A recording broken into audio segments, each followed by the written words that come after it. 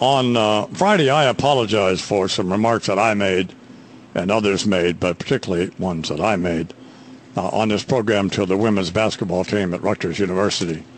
And it was a straightforward uh, apology that Charles and I wrote. And uh, I didn't uh, offer any, I didn't think it was necessary to offer any excuse. No, I don't think there is now. In light of women's college basketball soaring, let's revisit Don Imus. On his radio show, he said this of the Rutgers women's basketball team. That's a nappy headed up there, I'm going to tell you that now. oh, man. man. that's some. Ooh. And uh, the girls from Tennessee, they all look cute, you know, so like kind of like a, I don't know. Spike Lee thing. Yeah. The yeah, Jigaboos versus the Wannabes. Yeah, that a, movie that he had. Yeah, it was a tough. Um... Imus would land in hot water, though conservatives would defend him.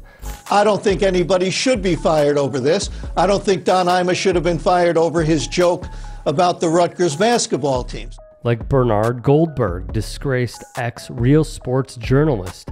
Conservative activist David Horowitz went on the air with host Peter Boyles and said the campaign of the left now is to drive conservative talk radio off the air. They're basically hammered and for 10 days and abused and lose his job and have uh, and be treated as though he's one of the great evil men of Western civilization. I thought was appalling. The man's a friend of mine, and I think a, a real spirit of censorship was involved in here. Pat Buchanan, who worked under Ronald Reagan, hated the decision. No. Age 70. Serena shocked by racist heckler. See, I personally stayed away from that for your benefit. I was on an airplane. I'm his co host Sid Rosenberg also joined in and has shown his racism many times over. He'd say of the game, it was a tough watch. The more I look at Rutgers, they look exactly like the Toronto Raptors.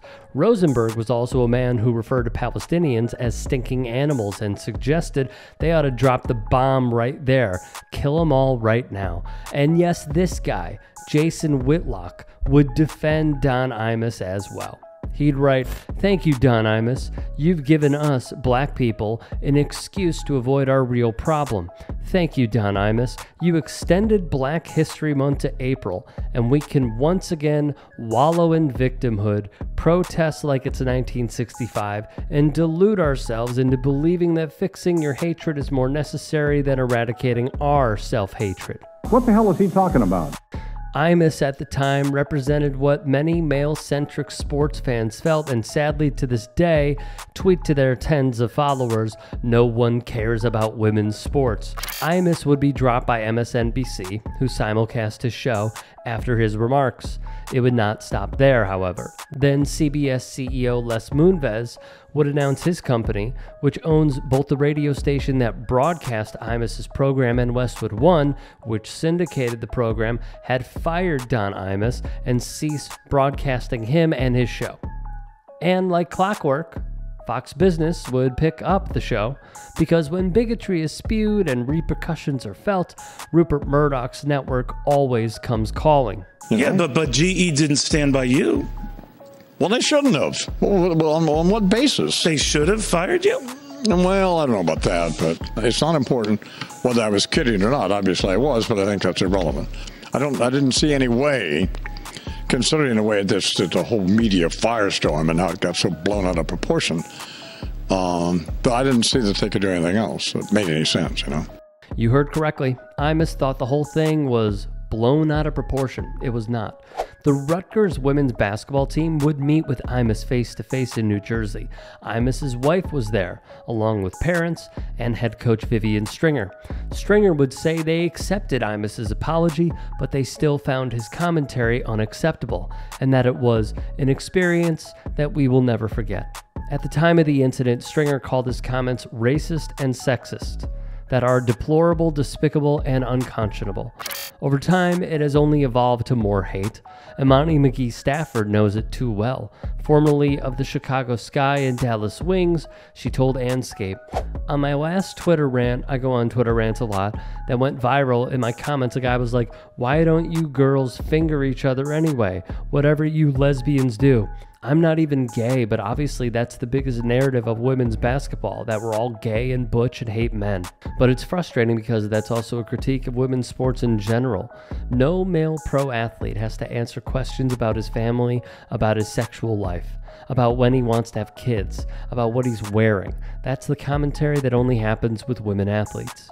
The great Elena Delle Donne would add When a big media outlet will post something about either me or some other WNBA players, it's always the usual Can you make me a sandwich? Get back into the kitchen. Those are probably the most common ones, and there's some really dirty sexual ones that I'm disgusted by that I wouldn't even want to repeat.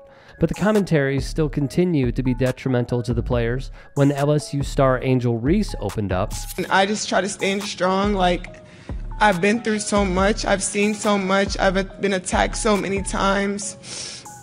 Death threats, I've been sexualized, I've been threatened, I've been so many things, and I've stood strong every single time. And I just try to stand strong for my teammates because I don't want them to see me down and like not be there for them. So I just want to always just know, like, I'm still a human. Like, all this has happened since I won the national championship, and I said the other day I haven't had peace since then. And it sucks, and but I still wouldn't change. I wouldn't change anything, and I would still sit here and say like, I'm unapologetically me. I'm gonna always leave that mark and be who I am and stand on that. And hopefully, the little girls that look up to me, and hopefully, I give them some type of inspiration that, you know, hopefully it's not this hard and all the things that come at you, but keep being who you are, keep waking up every day, keep mo- being motivated, staying who you are, staying 10 toes, don't back down, and just be confident. The sleuths of professional thirst baiters came out, like Emmanuel Acho, who has a history of doing so. Yet, even with the Imuses and Achos of the world, nothing, and I mean nothing, could hold back the success of the women's tournament. Iowa's 71 69 win over UConn averaged 14.2 million viewers. The game peaked at 17 million per the Post. The previous record for an ESPN basketball broadcast was 13.51 million viewers for Game 7 of the 2018 NBA Eastern Conference Finals between the Cleveland Cavaliers and the Boston Celtics. What should not be forgotten is ESPN and the NCAA had this product for years and failed to capitalize. In a virtual meeting back in 2021, the NCAA said the women's tournament loses millions every year and has to be subsidized by the men's event. Ben Strauss and Molly Hensley Clancy suggested the organization understated the value of the women's tournament by nearly $100 million the women are blended into a $500 million ESPN package of 24 championships. The NCAA said the women's event is worth just 15% of that deal, or about $75 million. It was safe to say they shortchanged it. In one study conducted by Kaplan, Hecker, and Fink, the law firm commissioned by the NCAA to look at gender equity in NCAA basketball, they stated the nonprofit designed its own system to maximize the value of and support to the Division One men's basketball championship as the primary source of funding for the NCAA and its membership. The study found the NCAA's broadcast agreements, corporate sponsorship contracts, distribution of revenue, organizational structure, and culture all prioritize D1 men's basketball over everything else in ways that create, normalize, and perpetuate gender inequities. It's been a tough go for the no one cares about women's sports crowd, I tell you. Take, for example, the Chicago Cubs. They were in a rain delay in the Jumbotron, showed Iowa, South Carolina. La Velle E. Neal of the Star Tribune would write we all should be excited about the championship of a tournament that has delivered time and time again. We also should be embarrassed, ashamed, and chagrined that while this tournament brought out the best in sports, it also revealed a lack of equality and the worst in society. We need to be better. First things first, before we jump into it, if you can, please do become a channel member at youtube.com slash tyt sports to keep us afloat and or go to tyt.com slash join. In addition, if you want to support me, you can follow me on Twitter, Instagram, and TikTok. Appreciate the love. I do think it's rather fascinating to look at how there are so many different perspectives to put down a sport that predominantly consists of black women, and yet it is just the language that is simply evolved from being so blatantly outright discriminatory with the likes of Don Imus to now seeing the Jason Whitlocks, the Emmanuel Achos, the Outkick the coverages, all of these people who make up right wing media, latching themselves onto the successes that has been led by Caitlin Clark, Dawn Staley, Kamilla Cardoso, uh, Angel Reese, Flau'jae Johnson, and many others, and still trying to pick apart these brave, selfless, strong women.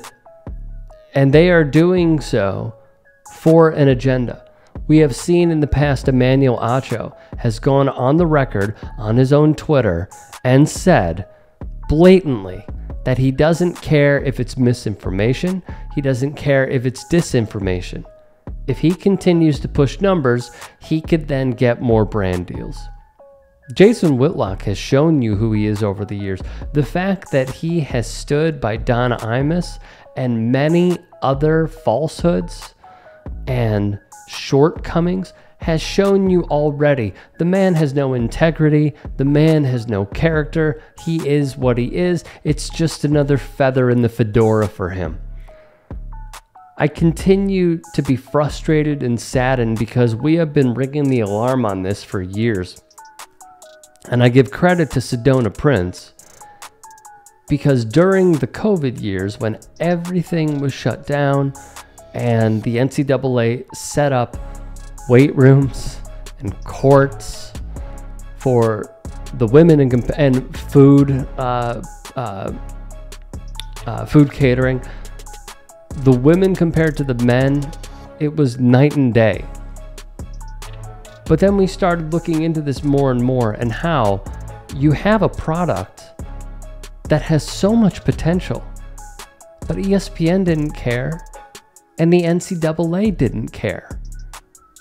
So to see the evolution of this game while also paying homage to the Maya Moores, the Diana Taurasi's, you know, the Sue Birds, the Lisa Leslie's, the impacts that they have had, but then to see record breaking for a sports network with the ratings is simply lending credence to those like myself and many others who have said you have a gold mine and you simply don't wish to tap into it. That's on them. They have had this all along, and they could have changed many people's minds by simply helping out, broadcasting the games, giving media coverage, and they didn't.